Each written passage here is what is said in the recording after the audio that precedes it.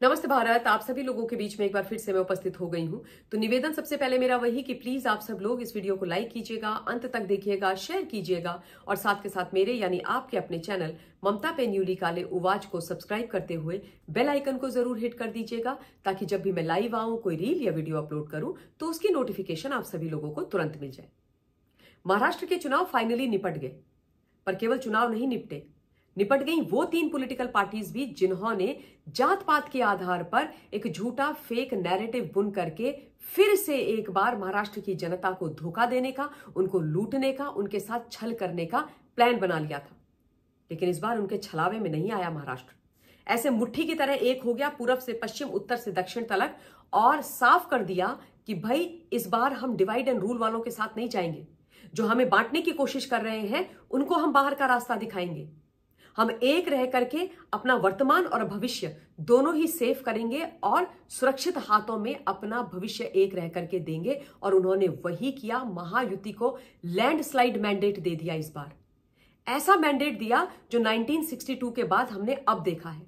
किसी भी pre poll alliance को इतना बड़ा मैंडेट 1962 के पश्चात अब देखने को मिला है। तो इसके लिए मैं एक बार फिर से महाराष्ट्र की जनता को प्रणाम भेज रही हूँ। उन्होंने जो पूरा नैरेटिव सेट कर लिया है आने वाले कई चुनाव के लिए पूरे देश के अंदर, वो सब विपक्ष बहुत अच्छी तरीके से समझ रहा है और इसीलिए इनके हाथों से तोते उड़े हुए दो नारे जिन्होंने एक कर दिया सबको, वो जोड़ने वाले नारे हैं। ये जो विपक्ष कह रहे हैं ना, तोड़ने वाले तोड़ने वाले नहीं है, तोड़ने वाले ये हैं जो जात पात की बात करते हैं। एक है तो सेफ़ है, और जब जब हम बटे थे तब तब हम कटे थे, ने मैजिक कर डाला।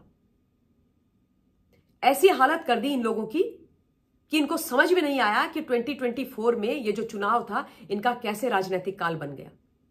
मैं अभी आपको 2004 से लेकर 2024 तक के जितने भी आंकड़े हैं, जितनी सीट जिस पॉलिटिकल पार्टी ने जीती है, वो बताने वाली हूँ।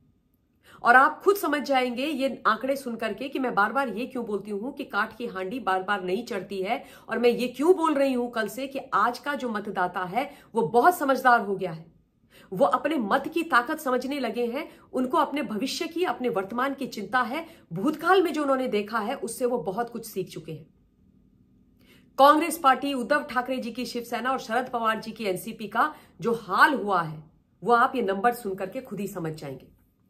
मैं बीजेपी, आईएनसी यानी इंडियन नेशनल कांग्रेस, एनसीपी और शिवसेना के नंबर्स आपको बता रही हूँ। 2004 में भारतीय जनता पार्टी ने जीती थी चौवन सीटें 2009 में उन्होंने जीती थी 46 सीटें 2014 में जीती थी भाजपा ने 122 सीटें 2019 में भाजपा ने जीती थी 105 सीटें और 2024 में यानी कल भाजपा ने जीती हैं 132 सीटें। आउट ऑफ़ 288 132 सीटें जीती हैं।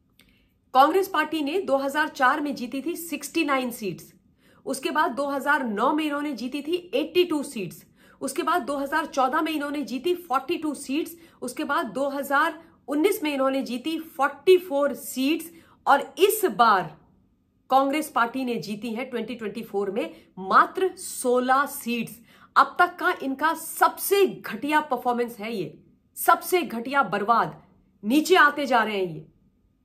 उसके बाद मैं बात करूँगी एनसीपी की। जब एनसीपी इकट्ठे थी तब इन्होंने 2019 तक कैसे जीता था और 2024 में क्या बदला, वो भी मैं आपको बताऊँगी। एनसीपी ने 2004 में इकहत्तर सीट, यानी 71 सीट्स जीती 2009 में इन्होंने जीती 62 सीट्स 2014 में इन्होंने जीती 41 सीट्स 2019 में इन्होंने जीती 54 सीट्स। और अब 2024 में स्प्लिट हो गए हैं। तो अब मैं आपको बता दूँ कि जो अजित पवार ने इस बार जीते हैं 2024 में 41 सीट्स। और एनसीपी शरद पवार ने मात्र 10 सीट जीती हैं। Only 10 seat. ये चाणक्य महाराज के हाल है। निपट गया चाणक्य जी। और अब बात की जाएगी शिवसेना की। जब तक वो इकट्ठी थी टिल 2019 और वो जब भारतीय जनता पार्टी के साथ थे, उनके घटक दल के तौर पर, तब उन्होंने कैसे सीटें जीती हैं। शिवसेना ने 2004 में 62 सीट्स जीती 2009 में इन्होंने 44 सीट्स जीती 2014 में इन्होंने 63 सीट्स जीती 2019 में इन्होंने 56 सीट जीती। जब उद्धव ठाकरे जी ही मुखिया हुआ करते थे शिवसेना एक होती थी, लेकिन अब 2024 में स्प्लिट हो गई। एक नाथ शिंदे जी के पास, एक शिवसेना का हिस्सा चला गया, एक उद्धव ठाकरे के पास रह गया। तो अब जो रिज़ल्ट आया है, वो आया है जो मिस्टर शिंदे वाली शिवसेना है, उसने 57 सीट्स जीती हैं और उद्धव ठाकरे जी की शिवसेना ने मात्र 20 सीट जीती हैं। आप देखिए क्या हालत हो गई है।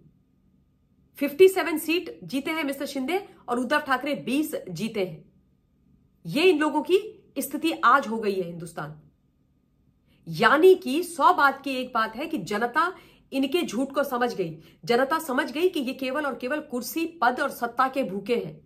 इनको ये केंद्र प्रकारेण बस सत्ता हथियानी है। और इसलिए जनता ने इन लोगों का, यानी जो लोग उनको छलने के लिए तैयार थे, उनका साथ देने को बिल्कुल तैयार नहीं थी, मूड में ही नहीं थी। और इसीलिए बाहर का रास्ता दिखा दिया है। जनता को यह भी याद था कि 2019 में जो उन्होंने मैंडेट दिया था, वो भारतीय जनता पार्टी और शिवसेना का जो प्रीपोल अलायंस था, उसको दिया था। उनको अपनी सेवा करने के लिए उन्होंने जनादेश दिया था। लेकिन उस जनादेश को छल दिया इन लोगों ने। किसने? Uddhav Thackeray number one. उसके बाद शरद पवार, जो खुद को चाणक्य बोलते हैं, जो अब दस में निपट करके रह गए हैं। और उसके बाद कांग्रेस पार्टी। जिस कांग्रेस पार्टी को केवल चवालीस सीट मिली थी 2019 में, यानी कि फिसड्डी आए थे वो।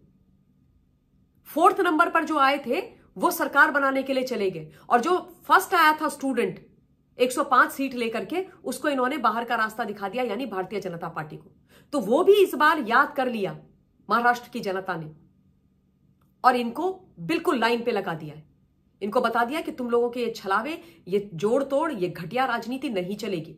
ये हमारा प्रदेश है। ये तुम्हारी बपौती नहीं है कि तुमने रुमाल डाल दिया और उसके बाद हमने वही किया जो तुमने बोला। ईंट का जवाब पत्थर से दिया है महाराष्ट्र की जनता ने, और इसके लिए मैं उनका बहुत बहुत बहुत साधुवाद देना चाहती हूँ। और अब ये जो रिज़ल्ट है ना, इसके कारण शिवसेना के अंदर तो मारकाट मची हुई है। सुर उठ करके आ रहे हैं उद्धव ठाकरे साहब के सामने कि भाई सबसे पहले पनौती को बाहर करो। कौन है पनौती? संजय राउत। वो कह रहे हैं कि संजय राउत को बाहर करो और बोल रहे हैं कि बाला साहब ठाकरे जी की जो विचारधारा हमने त्यागी है, उस पर वापस लौटो। ये कांग्रेस पार्टी के साथ जाकर के जो सेक्युलरिज्म का कीड़ा काट करके आप सब लोगों ने अपनी बर्बादी करवा दी, हमारी पार्टी की बर्बादी करवा दी, इस कांग्रेस पार्टी को आप बाहर फेंको। परम श्रद्धे हिंदू हृदय सम्राट बाला साहब जी नहीं चाहते थे कि हम कांग्रेस का हिस्सा हो तो हमें उनकी जो इच्छा थी उसका सम्मान करना है, क्योंकि आज हम जो भी हैं, वो बाला साहब जी के कारण। और शिवसैनिक कह रहे हैं मिस्टर उद्धव ठाकरे के सामने, ये खबरें आ रही हैं सूत्रों के हिसाब से। कि ये बंटाधार बेड़ा गर्ग पार्टी का करने में संजय राउत का बहुत बड़ा हाथ है। इनको तो आप एकदम रफ्ता करो। ये नहीं चलेगा। और ये भी कह रहे हैं कि कांग्रेस के साथ रहने से ही हमारी ये बर्बादी हुई है। पता नहीं क्या गलतफहमी हो गई थी उद्धव ठाकरे जी को। लोकसभा में नौ सीटें क्या जीत ली? इनको लगा कि बस ये तो मुख्यमंत्री बनने वाले हैं। इसीलिए तो मैं इनको कहती हूँ कि भैया केवल विरासत में आपको एक चीज़ मिल गई, आप नेता बन गए, ऐसा नहीं होता है। पर खैर, सौ बात की एक बात है कि शिवसेना के अंदर भी लड़ाई चल रही है और शिवसेना की कांग्रेस के साथ भी लड़ाई चल रही है। और महाराष्ट्र की जनता ने इनको यह बता दिया है कि आपस में तुम्हें जो सुरफटुगल करना है करो, जो लड़ना है लड़ो। लेकिन खबरदार, यदि हमारे प्रदेश में हमको जोड़ने तोड़ने की कोशिश करी तो। तो ये बहुत महत्वपूर्ण आंकड़ा था जो मुझे आप लोगों के बीच में रखना था, मैंने रखा है। आप लोग अपना पॉइंट ऑफ़ व्यू कमेंट के माध्यम से मुझ तक पहुंचाइएगा। इस वीडियो के लिए इतना ही। बहुत बहुत धन्यवाद। जय हिंद।